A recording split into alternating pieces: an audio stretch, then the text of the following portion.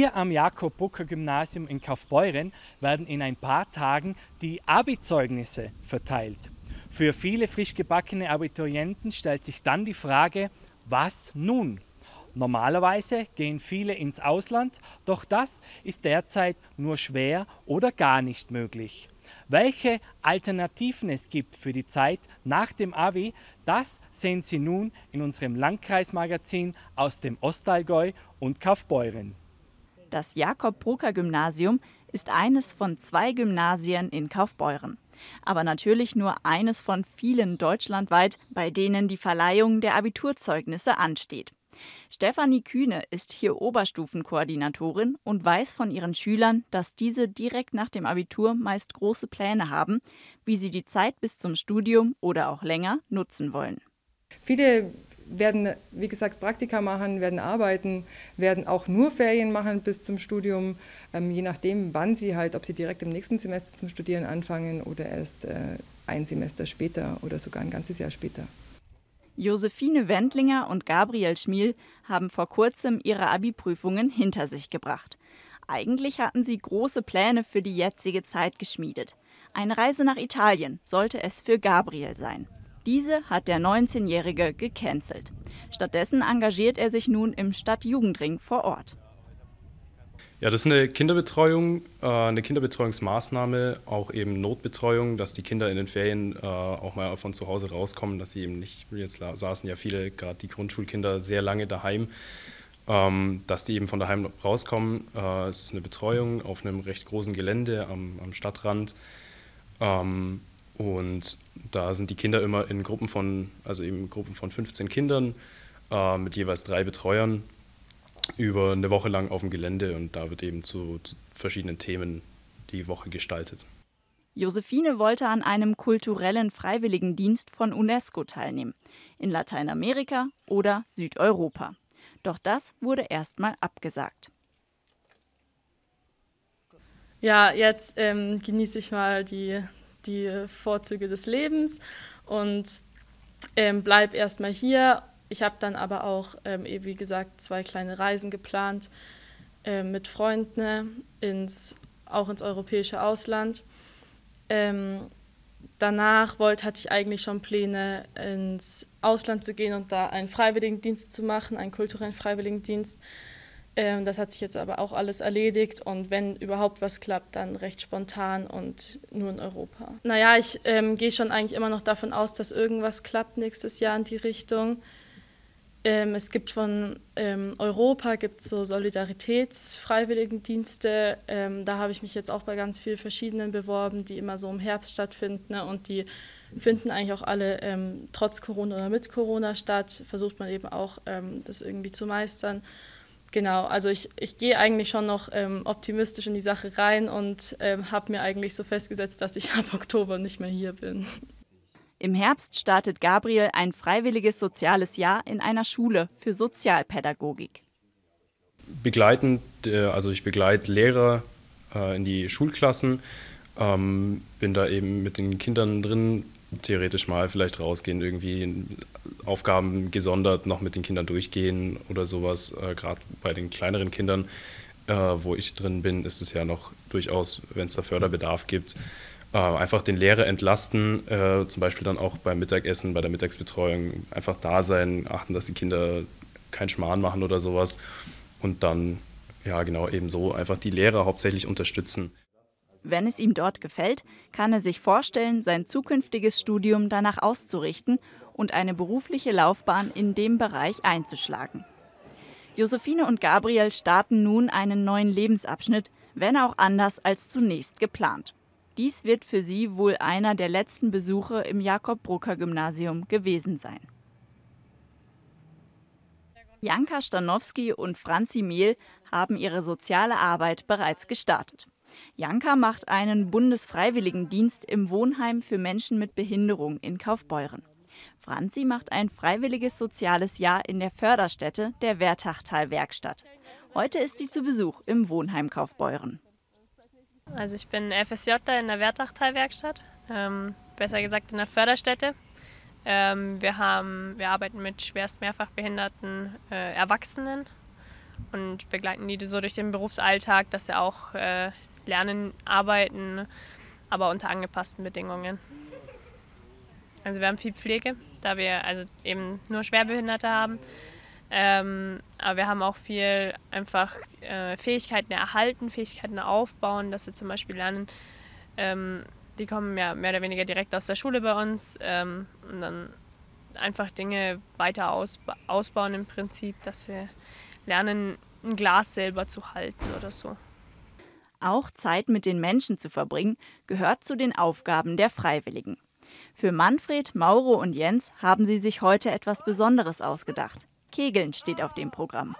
Wie man sieht, macht das den Dreien einen Riesenspaß. Man muss nur in die lachenden Gesichter schauen. Das ist auch das, was Franzi am besten an ihrer Arbeit gefällt. Die freuen sich über die kleinsten Sachen, wenn man sich mit ihnen hinsetzt und was singt oder äh, mit ihnen in den Arbeitsraum geht und Arbeitstraining macht. Über sowas freuen sie sich und da einfach mithelfen. Das ist einfach toll. Für Janka ist der Bundesfreiwilligendienst eine Vorbereitung für ihr Studium. Ab Oktober beginnt sie in München ein Studium für Berufsschullehramt. Danach möchte die 19-jährige Heilerziehungspflege unterrichten. Für mich ist es ähm, eigentlich quasi so eine Vorausbildung für mein Studium oder so ein Vorpraktikum, weil ähm, ich studiere ab Oktober und da ist ähm, quasi ein Praktikum in diesem Beruf ähm, Voraussetzung und beziehungsweise Voraussetzung für den späteren Studiengang. Und das hat sich halt auch einfach angeboten, weil ich viel mit ähm, Leuten mit Behinderungen zu tun habe, auch familiär, aber generell, ich mag es total gern mit Leuten, gerade mit solchen Leuten zu arbeiten. Und ich wollte einfach auch noch Erfahrungen sammeln. Tatsächlich ist es ähm, die Arbeit in der Küche mit den Bewohnern oder auch ähm, generell Ausflüge. Leider wegen dem Coronavirus ist jetzt ähm, die Ferienmaßnahme ist ausgefallen. Darauf habe ich mich eigentlich extrem gefreut. Halt mal eine ganze Woche mit denen Ausflüge machen und einfach viel mit denen was zusammen machen. Aber das ist halt jetzt leider ins Wasser gefallen. Arbeiten wie die Körperpflege sind Dinge, an die sich viele bei einem solchen Dienst erst gewöhnen müssen. Die meisten kommen jedoch schnell damit klar. Zu Beginn einer solchen freiwilligen Arbeit werden die Teilnehmenden auch erstmal dafür fit gemacht. Jährlich werden bei der Lebenshilfe und in den Wertachtal-Werkstätten im Ostallgäu um die 30 Freiwillige eingestellt. Es gibt viele verschiedene Möglichkeiten, einen solchen Dienst zu absolvieren, erzählt uns Johanna Zwick von der Lebenshilfe Ostallgäu. Also wir haben ganz vielfältige Möglichkeiten für Abiturienten und sonstige Schulabgänger. Ähm, wir haben eben bieten ein breites äh, Spektrum an von Arbeit mit Kindern, mit oder ohne Behinderung. Wir haben zum Beispiel eine neue Kita in Füssen. Dann haben wir das Spektrum Kinder und Jugendliche, entweder ähm, Sozioemotionalität, also das heißt, das ist der Bereich Kinder- und Jugendhilfe, Jugendsozialarbeit. Wir haben den Bereich ähm, Kinder mit geistiger Behinderung, die in Tagesstätten sind. Dann geht es weiter ins Erwachsenenalter. Unsere Werkstätten sind da ganz klassisch aufgestellt. Unsere Förderstätten für Menschen mit schwereren Behinderungen. Dann haben wir die Wohnheime, in denen Menschen mit Behinderung leben, ab 18 Jahren. Franzi und Janka sind froh darüber, sich für einen freiwilligen Dienst gemeldet zu haben. Ob als sogenannter Bufti oder durch die Absolvierung eines FSJ. Ins Ausland zu gehen, steht hoch im Kurs bei den Abiturienten. In einem anderen Land leben, eine andere Sprache lernen. Bei der Arbeit als Au pair ist das zum Beispiel möglich. Bei unserer Moderatorin Isabel Weidnauer nun lebt ein Au-pair-Mädchen. Wir dürfen die Familie zu Hause besuchen, um zu sehen, wie das Leben als und mit Au pair so ist. Alona ist 22 Jahre alt und kommt aus Russland. Seit September letzten Jahres lebt sie nun bei der Familie im Allgäu. Eine ihrer Hauptaufgaben ist es, sich um die dreijährige Feline zu kümmern. Sie spielt mit ihr, ähm, sie zieht sie auch an, wechselt die Windeln, sie gehen Fahrrad fahren, sie holt sie vom Kindergarten ab, sie räumt die Spülmaschine mal aus, bügelt auch ganz toll, da bin ich auch ganz froh drum. Ja, das sind so die Aufgaben eines Au-pairs. Also ein Au-pair ist keine Angestellte, ähm, sie ist ein Teil der Familie auf Zeit, eine große Schwester, wenn man so will. Und Feline macht es großen Spaß, mit ihrer großen Schwester zu spielen. Am liebsten draußen im Garten. Die beiden haben sich gern. Job, Haushalt und Kinder lassen sich oft nicht so leicht unter einen Hut bringen. Aus diesem Grund hat sich Familie Weidnauer nun für ein Au-pair-Mädchen entschieden. In vielen Situationen ist das eine große Erleichterung. Also dadurch, dass jemand im Haus ist, ähm, den man dann ja rufen kann, wenn mal Not am Mann ist, wenn man mal schnell weg muss, wenn man einen Termin hat zwischendurch oder der einem einfach mal die Spülmaschine ausräumt, auch mal am Samstag mit der Kleinen spielt ähm, oder ja, dass wir abends mal zum Essen gehen können, was kaum vorkommt, jetzt auch mit Corona, aber auch das ist einfach schön zu wissen, man könnte es. In ihrer Freizeit spielt Alona gerne Keyboard. Zu Hause in Russland hat sie Musik studiert. Das Au-pair ist davon überzeugt, durch dieses Auslandsjahr viel für sich selbst mitnehmen zu können.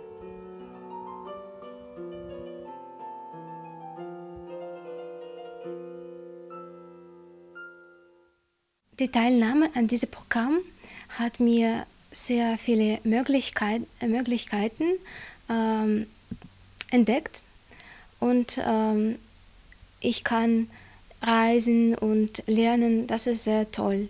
Ich mache Sprachkurs. Ähm, ich ähm, spreche mit meiner Lehr Lehrerin ähm, online. Ja, wir sprechen und ähm, Hausaufgaben machen und so weiter. Durch das Leben in Deutschland und den Sprachkurs konnte die Russin sehr schnell Deutsch lernen. Ihr gefällt die deutsche Sprache. Für den Sprachkurs bekommt sie von der Familie 50 Euro pro Monat. Außerdem ein Taschengeld von 260 Euro und natürlich freie Kost und Logis. Krankenversichert wird ein Au pair auch. Auf die Idee gekommen ist Alona durch eine Bekannte. Meine Bekanntin hat ähm, Au pair ja gemacht und das war für mich auch interessant und ich äh, hat äh, auch entschieden, ja, und ähm, nach, äh, nach meinem Studium wollte ich Au pair werden in Deutschland. Über eine Agentur wurde dann der Kontakt zwischen der Familie und Alona hergestellt. Bis Oktober wird Alona noch im Allgäu bleiben. Bis dahin ist noch viel Zeit zum gemeinsamen Spielen. Dann suchen die Weidnauer Nons wieder ein neues Au pair.